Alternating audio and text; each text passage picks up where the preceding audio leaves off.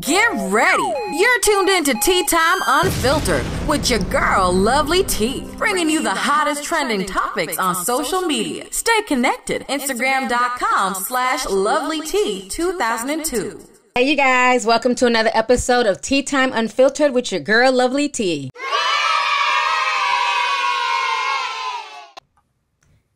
Hey, tea sippers, and thanks for joining me here for another episode of Tea Time Unfiltered. And I have my homeboy Ronan with me. Hey, it was good, T.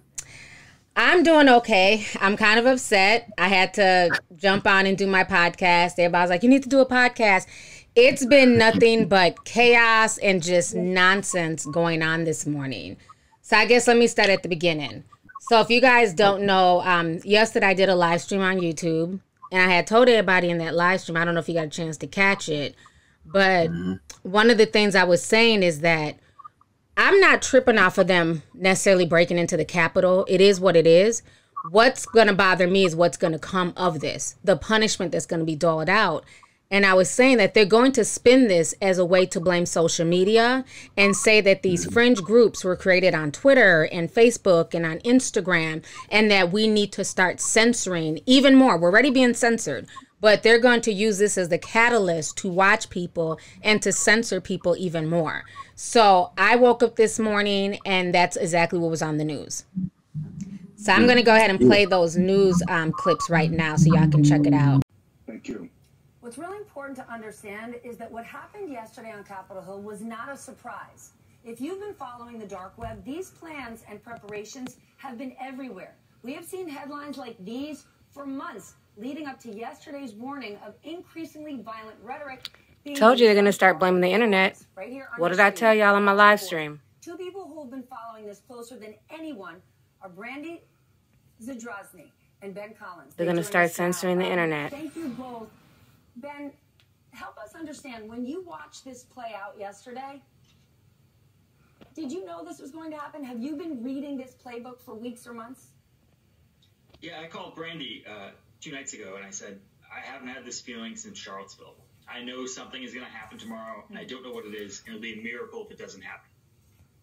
And uh, it happened. It was, you know, it's exactly what they said they were going to do.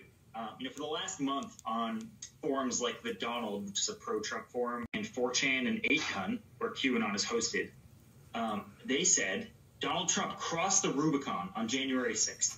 They had a hashtag, trending on Twitter, by the way. And uh, the point of that was to, just like in Julius Caesar, cross the Rubicon, declare a dictatorship, kick off the Civil War. We will be there for you.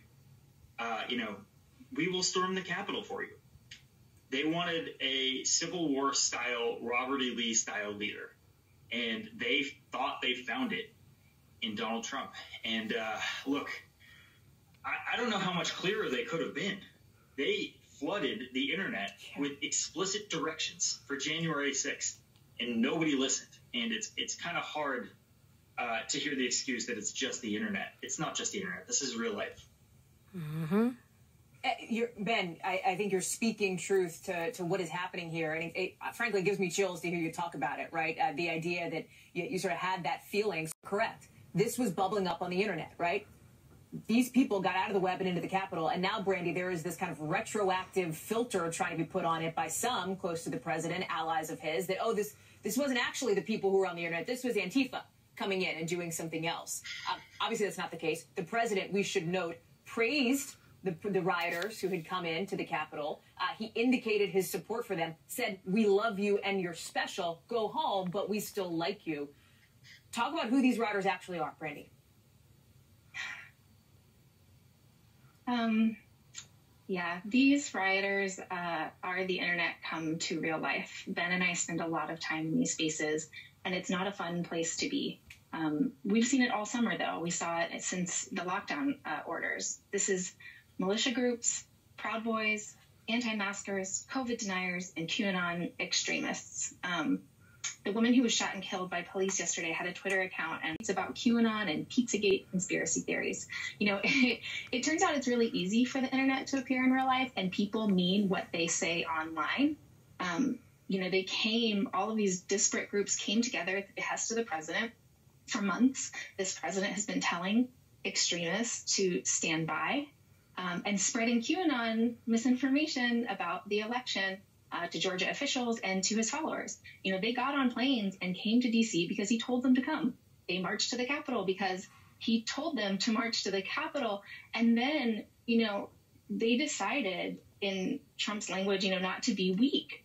And they had run out of options. And this is what happens when you make a, a, a, gang of conspiracy theorists and flood them with propaganda and misinformation and then tell them they have no other option.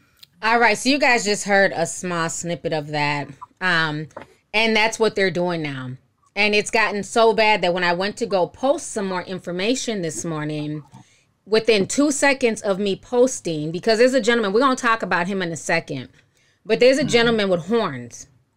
And I'm going and I'm posting stuff, breaking down how I feel like a lot of this stuff was set up and planned. And within two seconds, Instagram took it down and said that they're taking down my post for violating community guidelines and they removed it for violence and dangerous organizations. Mm. It is getting ridiculous. So I just been in the Discord all morning because I ain't got time for the censorship and the nonsense. Nah, I think it's a whole heap of bullshit. Um, and I definitely agree it is a psyop because um, we've been seeing this for a long time where mainstream media has basically lost control of people. Like when you started seeing social media like really dictating the movements of things in a constructive way. You have fringe groups, of course, but people who like seeing holes in the bullshit where you saw yesterday where they allegedly stormed the Capitol, where people were escorted in, you know, people taking selfies and whatnot, you know, doing a little bit of fear porn. But when you saw it, it was just like a little a live blooper reel. So just to get people worked up. And I'm and I agree with the part where they're going to sit there and really put a tight leash on basically social media, mainly the ones who are moving and shaking and, and showing people like through the bullshit and whatnot. There's more to it, but then again, it's like that's the power of propaganda and fear. Right. And that's the thing, you know, talking about fear, that is the easiest way to control a populace is fear. And also realize that we're also dealing with C19.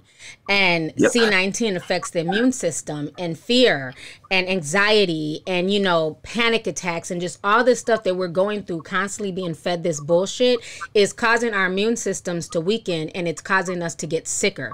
We are getting sicker more or less from the propaganda than even the C19. Yeah, asphyxiation by uh, stress and fear. Mm. Yeah. Yo, what's up? Hey, Tea Sippers. To listen to the rest of this podcast, please go to Apple Podcasts, Spotify, Google Play, Stitcher, TuneIn, or AnchorFM.com, which is a free podcasting site. Thank you guys so much for the support, and stay tuned for the next video.